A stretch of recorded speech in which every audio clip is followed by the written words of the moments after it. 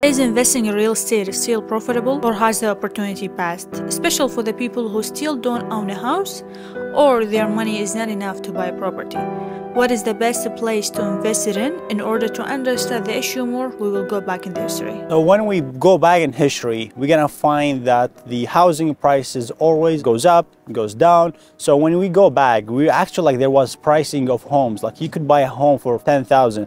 So I'm talking specifically in Canada, but that happened like when a crisis happens, like a crash or everything, it happens all over the world, eh, not just in Canada and the US, everywhere. So if we talk like 10 years ago after 2008 like from 2008 till covid or even even the drop in covid wasn't huge so people were actually buying houses builders were building houses so everyone who used to buy used just make money easily buy a house you're gonna make money life is good, your mortgage payments are low because the rates are too low. Like people used to, to refinance, they used to buy houses just because of the cost of borrowing is way too low. So life was good, like no complaint. You can buy, you can make money, there's nothing growing, you can nothing to complain about. Easily buy a house. People used to buy a house and sell it after a few months, they just make money. It's a fear of missing out. That's what makes people buy and that's what pushed the market to go higher. So used people used to buy they are afraid of missing out of an opportunity because it keeps going up. But if you look at the charts, after every drop on 2008, on, on the, the one that happened on 1887, prices tends to go lower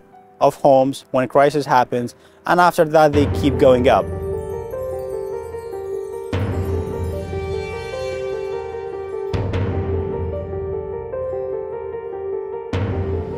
And the reason why for a lot of people, investors and even builders are afraid right now in buying houses or selling houses is because of the increasing of the interest rate. That happened in 2023 specifically which made a lot of people going crazy because of the a lot like the decrease of the prices that's happening in real estate. Like for example i know some people who bought houses in 2022 at the top and in 2023 they almost lost like 100k or 200k in their properties which i don't blame them why they are afraid of investing more in real estate because what they are struggling and facing right now but i'm pretty sure all the people investors specifically who know and have experience in investing in real estate they know that real estate market always fluctuates uh, throughout the years there's a lot of people saying that the interest rate will decrease this year and we are hoping this because a lot of people will get their pricing, especially for people who bought in 2022, they will get the price they want or the price they bought it for. Um, and, and also the payment for their mortgage, for everybody's mortgage, especially the people who have a variable rate, will go back to its normal payment. And this is very hard and made a lot of people struggling in 2023 and even now because of the increase of the interest rate because the salary is still the same. And a lot of employees or workers are struggling in paying their mortgage payments because the the their their income is still the same it's not increasing and this is what making life is hard in canada right now and even in the us but hopefully this year is going to be different for all of us and the interest rate will go down hopefully. But of course that that will affect the market not between a day and night. That's going to take months. We have a goal of reaching 100,000 subscribers and if we did that we're going to do a huge giveaway giving away three iPhones. So make sure you subscribe and leave us a comment. Even through these tough times in real estate we do have we still have a lot of buyers and sellers who are still investing or buying and selling at the same time here in Windsor all over. So for example, right now we are making a video for one of our uh, buyer client. He is in different province and we're making a video for him for this property and he's going to take a look at it and decide if he likes it or not.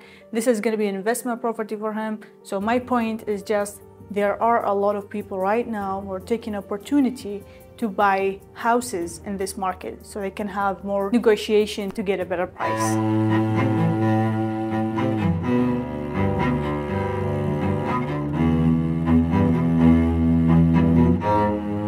we know a family that bought a house around like 2010. So they bought a house, you know, like right now that house worth like around the $800,000 mark, but it used to be around 250, 250 to 300,000. So this family, I know they bought it was tough time, but they held into it. They didn't sell And there you go. That's your biggest investment. It's really paid off.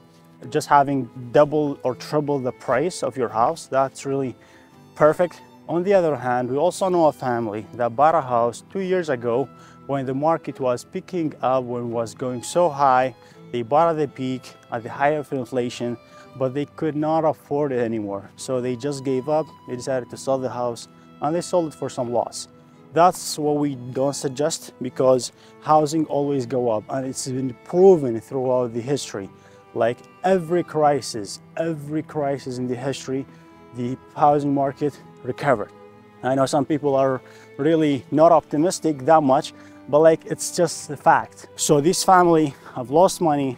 There are other options that they could have done, like renting the basement out or just try to put more pressure on themselves to keep the house. Make sure you don't get discouraged. You don't hear people that saying the housing will crash and the, how the prices will go back to 10,000 a house. That's never gonna happen because of inflation, because like the, the dollar is not backed by, by gold. There's a lot of other factors like supply and demand and a lot of people are coming to Canada, to the US. So this thing is even like all over the world. Like if you look everywhere in the world, most places, real estate keeps going up because there is limited amount of space, limited amount of land, and people keep growing and they keep buying and they keep building.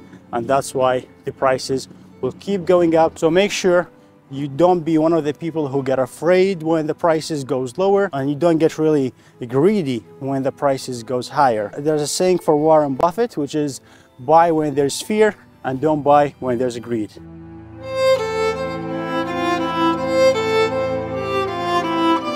But in this situation, if you wanna if you wanna invest in real estate, what are the most important, I would say, solutions to invest in real estate? The first would be buying a property, an investment property, and even if the mortgage payment is a little bit high, higher than normal, because of the increase in the interest rate. You can buy a house that has two separate units, rent both of them because of the rent right now, it's going crazy. Even rent sometimes is higher than buying a, house and paying a mortgage for it. So the rent right now is very high. So if you want to rent both units, it will pay you the mortgage and also makes you some cash flow every month. Uh, so the second solution would be buying a land, a vacant land. Of course, the vacant land would always be cheaper than uh, houses all over the world. So you can buy a land after a couple of years. Uh, you, you, will have some uh, equity in that land. You can sell it and gain some equity from that land. And also the third option you have is to do flips in this market. This is a very great opportunity for so many investors to do flips. And the last option would be if you cannot afford buying any real estate piece, uh, you can buy gold depends on your budget but gold always gold is like real estate exactly the same after years um, the uh, the gold would get a lot more higher and you can also gain some equity from that gold. The, the most important thing is just don't waste the money that you have right now and try to invest it in, in the right way. And if you have any questions about real estate, either in the US, Michigan, or in, in Ontario, Canada, our number is going to be right here. You can give us a call. And also, if you want to watch some house touring in Canada, watch this video next.